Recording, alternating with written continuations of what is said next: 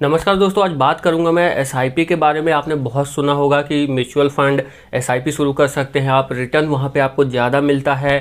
साल, दो और तीन साल, पाँच साल ऑप्शंस होते हैं इसमें। तो उतने पीरियड के लिए अगर आप स्टार्ट करते हैं एस जिसको आप पाँच सौ मिनिमम अमाउंट जो है वो मिनिमम कह सकते हैं या पाँच सौ से आप स्टार्ट कर सकते हैं। ऐसा एडवर्टाइजमेंट भी आपने देखा होगा। तो ज़रूरी नहीं कि सिर्फ़ पाँच सौ ही करना है, हज़ार भी कर सकते हैं पर मंथ, दो हज़ार भी कर सकते हैं एस आई पी यानी कि ये एक तरह से म्यूचुअल फंड या फिर आप कह लीजिए ग्रो ऐप अगर आप यूज़ करते हैं तो। मैं ग्रो ऐप से मैंने अभी स्टार्ट किया है पर मंथ वन थाउज़ेंड का। तो तीन साल में वहाँ पे रिटर्न का जो है वो लगभग ऑलमोस्ट डबल इस तरह से आ रहा है। तो अभी मैं उसको प्रैक्टिकल पे लेकर के चल रहा हूँ, यानी कि अभी तीन साल का मैं उसे देखूँगा, परखूँगा, समझूँगा, क्योंकि अप्रैल से मैं इस चीज़ को समझ रहा हूँ। जो अप्रैल 2022 जो आप कह सकते हैं, वहाँ पे मैंने शेयर जो ग्रो ऐप है, वहाँ से शेयर्स वगैरह भी खरीदे थे कंपनी के, उस पर मैंने वीडियो भी बनाई थी। तो ये ग्रो ऐप के बारे में ही जो सारा एक्सपीरियंस ग्रो ऐप के थ्रू और शेयर मार्केट और म्यूचुअल फंड और जो एसआईपी है, इन सब की जो नॉलेज है, वो धीरे धीरे धीरे जो मुझे होती जा रही है, वो मैं वीडियो आप तक पहुँचा रहा हूँ बना करके। तो एसआईपी मैंने समझा तो जो मैंने समझा एसआईपी क्या है, वो आपको समझाता हूँ। तो एसआईपी ये है कि आप जैसे मान लीजिए, जैसे एलआईसी भरते हैं और एलआईसी का पीरियड लंबा होता है, रिटर्न भी थोड़ा इसके मुकाबले कम होता है, लेकिन रिस्क भी आपको इसमें ज़्यादा होता है। तो एड भी आप देखते होंगे तो उसमें सब्जेक्ट टू मार्केट रिस्क इस तरह से करके लिखा भी जाता है एक लाइन। जब आप म्यूचुअल फंड वगैरह का आप एड देखते होंगे या जो भी स्टॉक से रिलेटेड या फिर जैसे ग्रो ऐप का एड देखते होंगे या आप स्टॉक का देखते होंगे, जिसमें आप शेयर्स वगैरह खरीदते हैं या एस वगैरह करते हैं, इसमें हाई रिस्क भी होता है रिटर्न का और साथ ही साथ हाई रिस्क रहता है मतलब जो आपका अमाउंट है वो कम ज़्यादा हो सकता है। मतलब जैसे अगर आपने अभी मान लीजिए एस आई स्टार्ट की है और मार्केट ठीक ठाक चल रहा है तो उस हिसाब से तो जो अभी के हिसाब से आप कैलकुलेट करेंगे तीन साल आ, अगर मान लीजिए आपने मेचो मेचोरिटी होने का लिया है मैंने तीन साल लिया है एक हज़ार वाला तो वो अगर अभी के हिसाब से उसका परसेंटेज देखेंगे रिटर्न का और पता चले तीन साल के बाद अगर उसी कंटिन्यू चलता रहा तो उतना तो आपको उ, उस हिसाब से रिटर्न होगा। लेकिन उस टाइम अगर मान लीजिए मार्केट नहीं ठीक है मार्केट गिरी हुई है तो वहाँ पर आपको रिटर्न कम होगा। तो ये भी चीज़ें रहती है तो इसलिए शायद मुझे लगता है जो आ, मैंने अभी तक समझा है तो उसमें आपको हाई रिस्क भी रहता है रिटर्न का। हो सकता है पता चले आपने जितना अमाउंट किया है उस उतना ही मिले या हो सकता है कि उससे थोड़ा बहुत ज़्यादा मिले या फिर हो सकता है ये भी कि जितना आपने कैलकुलेट किया था तीन साल पहले या जितने साल की भी आपने मेचोरिटी ली थी कि इतने साल तक आप एसआईपी करेंगे उसके बाद जो विड्रॉल होगा वो होगा। तो उत, उ, हो सकता है कि उस समय जो कैलकुलेशन की हो उतनी ही मिल जाए। तो ये होता है एसआईपी आपके अकाउंट से अच्छा ये कटता है हर मंथ और वन टाइम भी आप फिक्स कर सकते हैं। और महीने महीने पर भी आपका कटता है तो मैंने मंथली वाला लिया है एक हज़ार पर मंथ के हिसाब से। तो एसआईपी जो है वो जाती है आपके अकाउंट से डायरेक्ट चली जाती है। आप डिसाइड कर सकते हैं जब भी आप करते हैं आपको एक डेट दी जा पूरा मतलब एक चार्ट मंथ का खुल जाता है कि कैसे आपको आ, कौन सा डेट आपको ड्यू रखना है। तो उस दिन एसआईपी कट जाता है और उसके बाद आपका जो वन टाइम आप यहाँ पे इन्वेस्ट करते हैं, वो तो एक बार में ही कट जाता है, लेकिन एसआईपी मंथली करते हैं तो मंथली आपका कटता रहता है। वहाँ पे चार्ट वगैरह भी आपको दिखता रहता है कि आपने कितना इन्वेस्ट किया या फिर एसआईपी कितनी गई, कितना रिटर्न आपको मिलने वाला है, कितना प्लस में अमाउंट है, वो एक बार यहाँ थोड़ा सा आपको दिखा देता हूँ तो इस तरह से कुछ है। बाकी मैं कैसे एसआईपी स्टार्ट करना है या कैसे एसआईपी करते हैं ग्रो ऐप के ज़रिए मैंने किया है तो उसमें मैं ज़रूर आपको बताऊँगा लाइव वीडियो करके।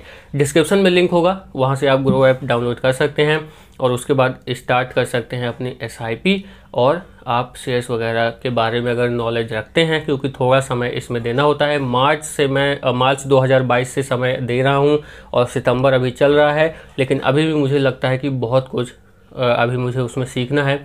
तो जैसे जैसे जो जो नॉलेज होती है, जो मैं प्रैक्टिकल करता हूँ, क्योंकि पहले नॉलेज या पहले नॉलेज या प्रैक्टिकल फिर वीडियो तो उस हिसाब से तो अभी फ़िलहाल जितना सीखा, मैंने आपको वीडियो बनाई। ज़्यादा वीडियो भी नहीं बनाई है मैंने शायद ग्रो ऐप पे, या फिर इस तरह के टॉपिक्स पे स्टॉक पे, या फिर एसआईपी पे। तो एस क्लियर हो गया होगा, मुझे लगता है आपको। तो ये एक तरह से आप कह सकते हैं कि मंथली एक अमाउंट आपका जाता है, जो कि मार्केट में आपका जो जो शेयर्स वगैरह ख़रीदते हैं आप खुद से चूज़ करेंगे तो आप शायद एनालिटिक नहीं कर पाए हों डाटा रीड पूरी तरह से अच्छे से नहीं गए हों डीपली नहीं गए हों, और आपने कोई शेयर खरीद लिया और फिर वो मार्केट में जो शेयर का अमाउंट है वो गिर गया तो आपको नुकसान हो जाता है। तो एसआईपी में क्या होता है कि जो एसआईपी जैसे एक्सिस बैंक का बैंक ऑफ़ इंडिया नावी बहुत सारे हैं, उसमें अगर ऐसा चूज़ करना होता है कि आपको एसआईपी किस कंपनी में या फिर किस बैंक के थ्रू करनी है, किसमें इन्वेस्ट करना है तो उनके लोग जो उस फ़ील्ड के ही होते हैं, उनका काम ही यही होता है। तो वो देखते हैं, कई जगहों पे आपका वो अमाउंट लगाते हैं और उनको लगता है कि यहाँ से रिटर्न ज़्यादा होगा, या फिर वो उसके चांसेस है ग्रो होने के तो वहाँ पे पैसा आपका लगाया जाता है, फिर उसके हिसाब से आपका रिटर्निंग होता है एसआईपी का। तो बाकी आप डिटेलिंग में वीडियो देखेंगे, जो मुझसे ज़्यादा नॉलेज रखते हैं इस बारे में तो आपको ज़्यादा समझ आएगा। और बाकी मुझे एसआईपी के बारे में जितना नॉलेज था, मैंने आपको बता दिया। आप स्टार्ट कर सकते हैं, और रिक्स रहता है, लेकिन वो तो आपको पता ही होगा कि हर चीज़ में रिक्स रहता है। लाइफ में भी, ड्राइव कर रहे हैं तो भी, और किसी भी तरीके का रिस्क तो रहता ही है। तो अगर आप चाहते हैं कि आप 500 से स्टार्ट करें, हज़ार से स्टार्ट करें तो मुझे लगता है कि आप लोगों को भी करना चाहिए, क्योंकि अगर अगर मैं अपने हिसाब से मतलब मेरा ऐसा मानना है कि जिस तरह से मार्केट चल रही है या फिर जिस तरह से लोग कहाँ पर पैसे लगा रहे हैं या फिर क्या चीज़ नई आ रही है मुझे लगता है बहुत वैसे तो बहुत पीछे हूँ मैं मुझे और पहले स्टार्ट कर देना चाहिए लेकिन मैं सोचा था कि छोड़ो छोड़ो छोड़ो फिर उसके बाद एक फ्रेंड है अनिल जी शायद मैंने पहले वीडियोज़ में बताया भी होगा तो उससे थोड़ा जानने को मिला फिर मुझे मैंने इस, पर स्टार्ट किया अप्रैल से अभी मतलब मैं समझ लो सीख रहा हूँ और अभी भी सीख ही रहा हूँ तो जो जो नॉलेज हो रही है मैं बता रहा हूँ तो मुझे लगता है स्टार्ट करना चाहिए और मतलब अगर माइनस मतलब जितना आप कैलकुलेट करते हैं, उतना नहीं भी आया तो कितना ही आपको नुकसान हो जाएगा। लेकिन ये है कि इतना तो है कि, या फिर आप उसको ऐसा भी नहीं है कि शायद विड्रॉल कर जितना नॉलेज है अभी फ़िलहाल, कि ऐसा भी नहीं है कि जैसे उसमें नुकसान हो रहा है तो आप एकदम से विड्रॉल करेंगे तो उतना अमाउंट ही आपको आएगा सिर्फ़। आप उसको शायद फिर से कंटिन्यू कर सकते हैं, फिर से फिक्स कर सकते हैं। थोड़ा समय आपको यहाँ पे जितना मैंने अभी समझा है, समय आपको यहाँ एस में भी एसआईपी हो या शेयर मार्केट या इसमें स्टॉक वगैरह में, समय आपको देने की ज़रूरत है। तो समय, चाहे कोई भी फ़ील्ड हो, कहीं भी हो, समय आपको देना तो बनता ही है, तभी आपका जो रिज़ल्ट है वो ठीक आता है। बाकी जितनी मैंने वीडियोस देखी है, जितना समझा है उसमें यही कहा गया है कि अगर एसआईपी हो गया और स्टॉक मार्केट हो गया शेयर्स वगैरह आप ख़रीदते हैं तो इसमें क्या है लॉन्ग टर्म आपको विज़न या फिर गोल बना करके रखना होता है। तो जिन जो लोग इसमें एक्सपर्ट हैं उनके आप चैनल देख सकते हैं। अगर मैं बत, अपनी बताऊँ तो शायद मैंने मतलब मुझे नाम तो याद नहीं, लेकिन जो ज़्यादातर को जो संदीप महसूरी सर की वीडियो आती है, उसमें कई आए हैं इस फ़ील्ड के नॉलेजेबल लोग। तो जो इस फ़ील्ड में ही मतलब इस तरह का ही उनका, इस इस टॉपिक से रिलेटेड ही कंटेंट रहता है। तो उनके मैंने वीडियोस देखे हैं तो आप देख सकते हैं। और कई सारे लोग हैं, आप डालेंगे एक बार तो समझ आएगा। और मतलब एग्जैक्ट नाम याद नहीं आ रहा है किसी का। ऐसा नहीं है कि मैं बताना नहीं चाह रहा, लेकिन हाँ रेफरेंस मैंने दे दिया है।